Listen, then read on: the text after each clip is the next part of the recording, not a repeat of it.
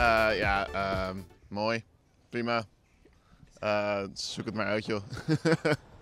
Eh, chaotisch, vooral. Ja, chaos. Ja, dat is goed. Want uh, dan wordt de stad mooier, snap je? Het zit helemaal dicht en je moet omfietsen. Als je naar die kant wil komen, dan moet je er omheen. Singel, uh, Spuis, Singel en Koningsplein en de Nieuwzijds Voorburgwal krijgen een mooie herinrichting. Met uh, meer ruimte voor de voetganger en de fietser. en een aangename plek om te verblijven.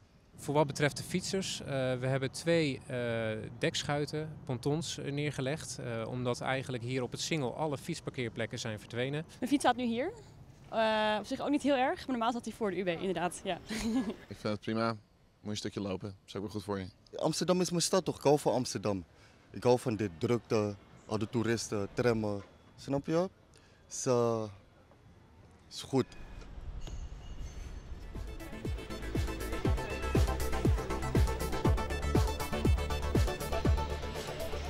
Nou, dit was het verkeer en tot de volgende keer.